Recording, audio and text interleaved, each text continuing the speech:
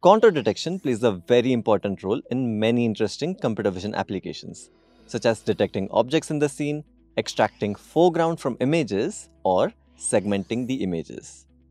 Hey there, welcome to Learn OpenCV. In this video, we will learn about OpenCV's contour detection. To produce good contours, you need to read the image, convert it to grayscale and threshold it. The boundary between the black pixel and the white pixel is the contour. Let's see its implementation on code. First download the images and import CV2 and Matplotlib. Then we read and pre-process the images before detecting the contours. These are the pre-processing results, the BGR image, the grayscale image and the thresholded image. Now pass this thresholded image to OpenCV's find contours function. The function will return the contours and its hierarchy. Now pass these contours to OpenCV's draw contours function. Change the appearance parameters like the line color and thickness to your liking and select which contours to draw. Minus 1 specifies all the contours. And if you change the thickness to minus 1, you will fill the contour. If these concepts are difficult to grasp, check out OpenCV University's free OpenCV Bootcamp. Go to opencv.org slash university slash free courses. Next, let's check the retrieval modes of find contours. As usual, read the image, convert it to grayscale and threshold it.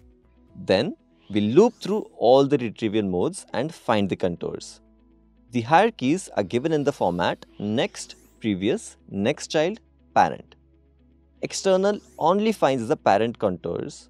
List finds all the contours but without finding the hierarchy CComp and tree also find all the contours, but it defines a two-level hierarchy and all-level hierarchy respectively. Here is the runtime comparison for all the retrieval methods. List takes the least time, whereas tree takes the most time. OpenCV also provides two approximation techniques, chain approx none and chain approx simple. These reduce the number of redundant points of a contour. But when we find and draw the contours, both the results look identical.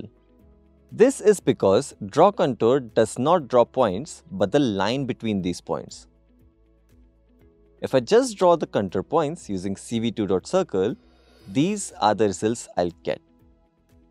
This is the difference between the approximation techniques. So that's all about OpenCV's contour detection. If you like this video, why don't you check out OpenCV's blob detection or other videos in computer vision and deep learning fundamentals. Do comment on what you would like to see next and don't forget to subscribe. Thanks for watching. Until next time.